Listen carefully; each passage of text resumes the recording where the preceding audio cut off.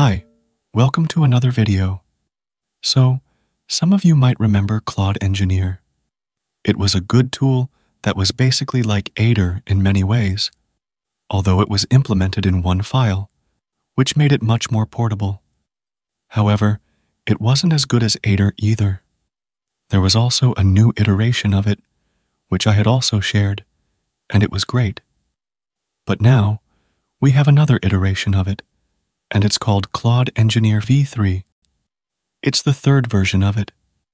Now, this Claude Engineer v3 is a redesign of Claude Engineer, and basically, it can generate and manage its own tools, continuously expanding its capabilities through conversation.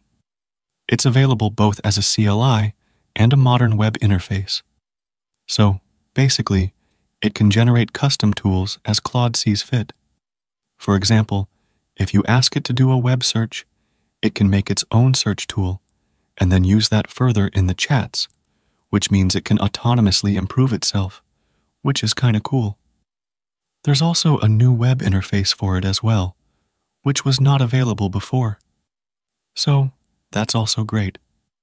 If we talk about the web interface, then it's a sleek, modern web UI with features like real-time token usage, visualization, image upload, and analysis capabilities, markdown rendering with syntax, highlighting, responsive design for all devices, and tool usage indicators, along with a clean and minimal interface. There's also the old terminal interface as well, if you like that. There are also some built-in, pre-existing tools, like a tool that creates tools. Then there's the UV Package Manager, E2B Code Executor, linting tool, basic file system tools, web tools, and utility tools. So that's super cool to be honest. For the API keys, you'll need an Anthropic API key and an E2B API key for Python interpreter capabilities. Now let's test it out and see how well it performs. But before we do that, let me tell you about today's sponsor, NinjaChat.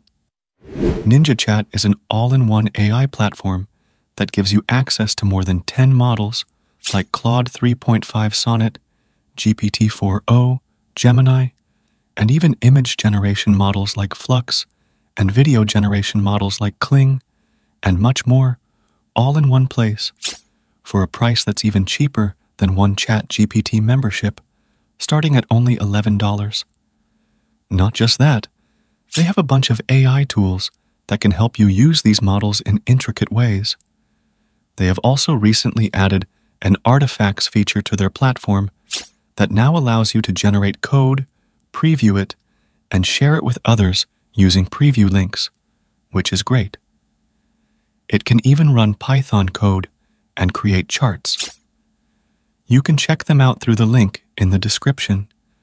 And make sure to use my coupon code KING25 to get an additional 25% off these already great deals. Now, let's come back to the video. So, first of all, we'll need to install UV first. UV is a project and package manager for Python. So, we'll need to get that installed by running this command. Just copy it, paste it into your terminal, and it should get installed. Once it has been installed, just clone the repo on your computer. Then, get into that folder. Now, run the UV virtual environment command, and this will create a virtual environment. Once it has been done, just get into the virtual environment. Now, you'll need to export the environment variables for Anthropic and E2B. You can get the E2B API key through the E2B site, and it's free as well. So, that's good. Just put in the API keys as environment variables. Now just run the app file for the web interface or this file for the CLI tool. Once done, it'll get started on a port, and you can just go over there and you'll see it running. Also, the Claude Engineer is now much bigger, and it is not in one file like before. So, it's not as portable now, which is a bummer for sure. Now, this is the interface. So, it's pretty basic. You have the chat threads here, then you have the prompt box at the bottom, And you can also attach images if you need to. That's all the interface has. Let's give it a prompt and see how it works. So, just for testing, let's ask it to make a Minesweeper game and see how well it performs and how it works. So, it seems that it doesn't stream anything, and you just need to stare at this thinking thing, which is a little disappointing for sure. Okay, so it seems that it's now done. It doesn't show the tools it used, or the code it generated, or anything like that, which is a little weird for sure. But it did indeed create the thing, and you can see that in the server logs here, which is okay. Another thing is that it created the files inside the Claude Engineer folder itself, without any structure, which makes me wonder how people will use this in a proper environment, because it's not a one-page thing like before. So, how should I take this whole folder, move it to a working directory, and then work on that? It's very lackluster for sure. I don't see any such details on the GitHub either to maybe make this a global package like Aider. So, it's not supposed to be an AI coder for sure, because you can't technically use it in anything potential. Anyway, let's just run it and see the generation. Okay, the generation is good. I mean, it's Claude, so the generation will be good, but it's fine. I mean, the self evolving thing is great, and everything in theory, but it brings nothing new to the real use case. BabyAGI had the same thing as well. So, I don't know what's so great in the custom tool thing. Anyway, it can generate custom tools. So, let's ask it to make a tool called Stock Price Fetcher, and let's ask it to tell me the NVIDIA stock price. Okay, it's now doing that. So, again, we'll have to stare at the thinking thing. So, now it's done and the tool for stock price didn't work. So, it just used the web scraper tool that it has, which is a little bad. But maybe the stock price API wasn't working or something.